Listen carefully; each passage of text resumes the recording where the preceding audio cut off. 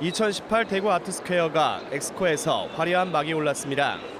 이번 행사는 지역 최대의 미술품 판매장인 대구 아트페어와 청년 작가들의 창의적이고 실험적인 무대인 청년미술 프로젝트로 구성됐습니다. 올해 11번째를 맞은 대구 아트페어는 한국과 독일, 미국 등 국내외 화랑 110여 곳이 작가 700여 명의 작품 5천여 점을 선보였습니다. 세계 미술의 흐름을 한눈에 볼 수 있는 대구 아트스퀘어는 오는 25일까지 계속됩니다. 비디오 편집이나 영상을 활용한 미디어 아트 작품들을 한자리에 보았습니다. 가상의 신비로운 풍경에서부터 사회 문제를 돌아보는 작품 등 다양한 방식으로 독창적인 예술 세계를 보여줍니다.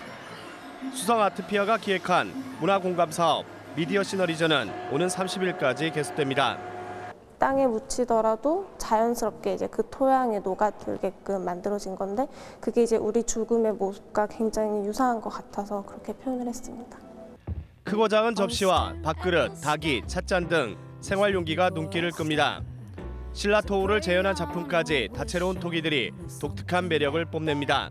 유약을 안 바른 그릇들을 만들기 때문에 이제 건강에 좋은 그릇 그런 것을 이제 만들려고 노력하고 있습니다. 경주에서 전통 방식으로 신라토기를 재현한 도예가 김원규 초대전은 다음 달 2일까지 이영 갤러리에서 열립니다. TBC 박성입니다.